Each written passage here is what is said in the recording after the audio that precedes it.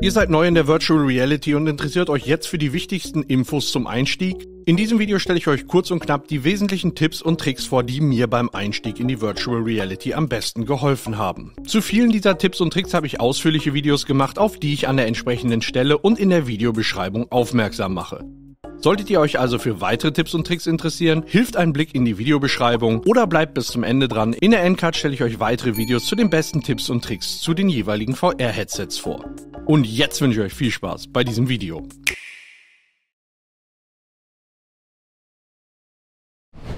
Tipp 1 nutzt eine Matte zur Orientierung. Die Virtual Reality soll uns voll und ganz in ihren Bann ziehen und in der Immersion versinken lassen. Dabei kann es dann schon mal passieren, dass man die Orientierung im Raum, in dem man sich befindet, komplett verliert. Mir ist es schon etliche Male passiert, dass ich gegen eine Wand geschlagen, eine Flasche oder ein volles Glas umgeworfen oder sogar in den Fernseher geboxt habe. Allgemein kann ich empfehlen, den Guardian bzw. die Spielfeldbegrenzung nicht direkt bis zur Wand einzurichten. Lasst doch ein paar Zentimeter Platz, dann werdet ihr früher gewarnt. Häufig könnt ihr auch die Empfindlichkeit des Guardians in den Einstellungen verändern, sodass euch die Begrenzung früher oder weniger früh eingeblendet wird.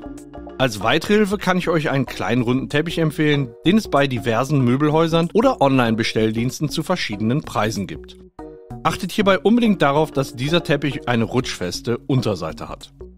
Durch den Teppich wisst ihr dann immer, wann ihr zentral in eurem Spielbereich steht und wann ihr auf Reisen geht innerhalb eurer Spielfeldbegrenzung. Einen Link zu einem passenden Teppich habe ich euch in der Videobeschreibung hinterlegt. Hierbei handelt es sich um einen Affiliate-Link. Das bedeutet, ihr zahlt keinen Cent mehr, ich werde aber prozentual zu einem gewissen Anteil am Kaufpreis beteiligt, sodass ihr durch den Kauf über diesen Link die Zockstube unterstützt. Der zweite Tipp, passt auf die Sonne auf. Wusstet ihr, dass man mit Sonnenlicht, einer Lupe und etwas getrocknetem Gras Feuer machen kann? Durch die Wölbung der Linse verändern die Sonnenstrahlen ihre Richtung so, dass sie beim Austritt zusammenlaufen. Der Treffpunkt der Lichtstrahlen wird dabei Brennpunkt genannt. Was das mit eurer Virtual Reality Brille zu tun hat, fragt ihr euch? Eine VR-Brille hat auch eine Art Lupen. Trifft Sonnenlicht auf die Linsen, werden die Sonnenstrahlen ebenfalls gebündelt, nur dass sie euer VR-Headset nicht in Flammen aufgehen lassen, sondern schlicht und ergreifend das Display ausbrennen und damit unbenutzbar machen.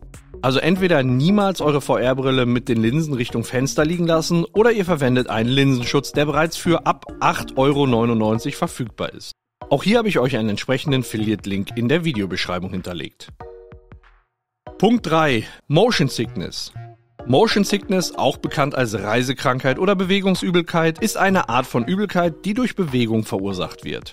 Es tritt auf, wenn es eine Diskrepanz gibt zwischen dem, was das Auge sieht und was das Innenohr spürt. In Bezug auf die Virtual Reality kann Motion Sickness auftreten, wenn die virtuelle Umgebung schnelle Bewegungen, Drehungen oder schnelle Veränderungen in der Perspektive erzeugt, die nicht mit den Bewegungen des Körpers übereinstimmen.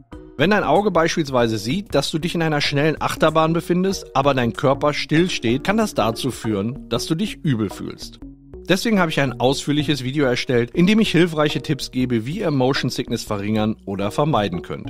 Für Leute, die noch nie in der Virtual Reality unterwegs waren, keine Sorge, das soll hier keine Warnung sein. Jeder nimmt die Virtual Reality anders wahr. Mit vielen der Tipps haben bereits eine Menge der Nutzer gute Erfahrungen gesammelt. Und nach ein bisschen Übung verlieren die meisten, wenn sie überhaupt mit Motion Sickness zu kämpfen haben, die Übelkeit vollständig. Das entsprechende Video mit allen ausführlichen Tipps und Tricks findet ihr in der Videobeschreibung.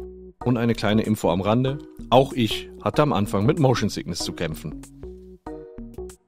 Nummer 4. Achtet auf euren Akku. Dieser Tipp gilt für all diejenigen, die eine VR-Brille mit einem integrierten Akku haben. Ich habe schon häufig gehört, dass es gut für einen Akku wäre, ihn bis zu 100% zu laden und das ist falsch.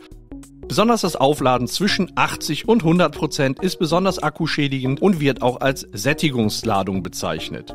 Bei der Sättigungsladung oder im Englischen auch Saturation Charge genannt, kommt es zu einer besonders hohen Stromspannung, die dem Akku schaden kann. Deswegen mein Akku-Tipp Nummer 1, ladet eure Quest am besten nicht über 80 Prozent auf. Lieber mal häufiger zwischendurch. Wenn ihr euch für weitere Akkutipps interessiert, empfehle ich euch das Video in der Beschreibung. Dort habe ich viele weitere Tipps zusammengefasst, wie ihr euren Akku schonen könnt. Nummer 5. Einrichtung des Guardians. Die meisten Virtual Reality Headsets nutzen eine Spielfeldbegrenzung. Diese heißt je nach Hersteller anders. Manchmal ist es einfach nur die Spielfeldbegrenzung, bei Meta ist es beispielsweise der Guardian. Dieser hilft euch dabei, dass ihr nicht ungewollt eure Wohnung umdekoriert während des VR-Spielens und ihr euren festgelegten Spielbereich nicht verlasst. Obwohl der Guardian euch dabei hilft, die Spielfeldgrenzen nicht zu überschreiten, kann es sinnvoll sein, sich zusätzlich etwas Orientierung zu verschaffen. Hierfür habe ich ein paar ergänzende Tipps zum Room Scale. Wie bereits zuvor dargestellt, würde ich euch empfehlen, einen runden Teppich zu nutzen. Zeichnet die Spielfeldbegrenzung außerdem nicht bis zur Wand bzw. bis zum Fernseher ein, sondern lasst ein bisschen Platz, so werdet ihr rechtzeitig gewarnt. Außerdem empfehle ich euch, einen Zacken in den Guardian zu machen. Solltet ihr dann einmal die Guardian-Grenze erreicht haben, wird euch der Guardian eingeblendet und durch die Form des Guardians wisst ihr dann immer, in welche Richtung ihr gerade steht. Nummer 6. Die besten VR-Games.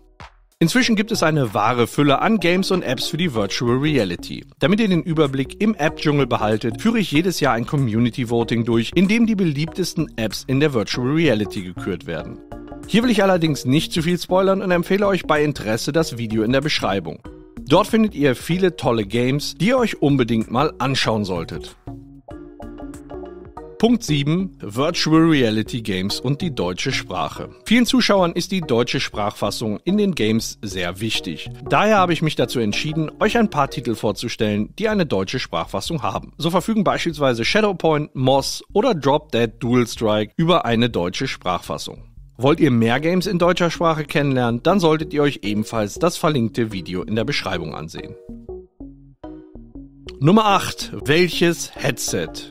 Eine zentrale Frage, bevor ihr in die Virtual Reality einsteigt. Welche Art von VR-Brille ist denn überhaupt etwas für mich? Und zum Zeitpunkt dieses Videos lässt sich der VR-Markt in grob drei Segmente unterteilen. Den Standalone-Bereich, den Gaming-Konsolen-Bereich mit VR-Unterstützung und das PC-VR-Segment. Alle drei Varianten unterscheiden sich sowohl in ihrem Preis, aber auch der Leistung. So bietet der Standalone-Markt, der momentan von der MetaQuest beherrscht wird, den günstigsten Einstieg in die Virtual Reality mit beeindruckenden Games und Apps und das ganz ohne Kabel und ohne teuren PC. Hier geht es bereits ab 450 Euro los und es gibt eine große Auswahl an Games, die ihr im MetaQuest Store findet. Interessiert ihr euch für eine MetaQuest? Dann schaut doch mal in der Videobeschreibung. Auch hier habe ich euch einen Affiliate-Link hinterlegt. Für die PlayStation VR 2 benötigt ihr eine PlayStation 5 für rund 500 Euro. Dann könnt ihr euch für 600 Euro eine PlayStation VR 2 kaufen. Dadurch steht euch natürlich die gesamte Rechenpower der PS5 zur Verfügung, allerdings nur kabelgebunden. Im PC-VR-Segment sind leistungsmäßig keine Grenzen gesetzt, preismäßig aber auch nicht. Hier könnt ihr euer Setup beliebig upgraden. Grundsätzlich funktioniert PC VR auch kabelgebunden, es sei denn, ihr habt zum Beispiel ein Standalone-Headset wie die MetaQuest 2. Dann könnt ihr auch hochwertige PC VR-Titel wireless spielen.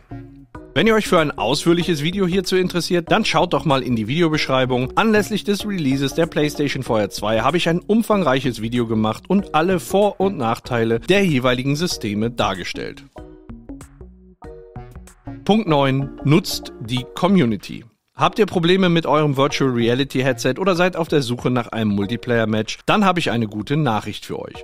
Auf dem Discord der Zockstube befinden sich zum Zeitpunkt des Videos rund 4000 Virtual Reality Nutzer, die für Multiplayer-Matches oder technische Fragen da sind.